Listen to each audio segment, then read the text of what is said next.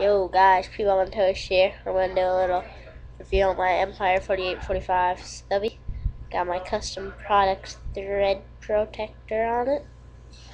And my exalt tank cover. I love this tank. Very light, very tight and compact, obviously, because 4845.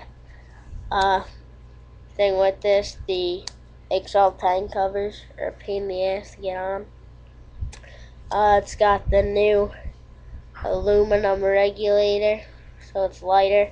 But I don't like it because the nipples stick out a lot if you ever going like that or something, or you hit your hand on it, it's gonna hurt.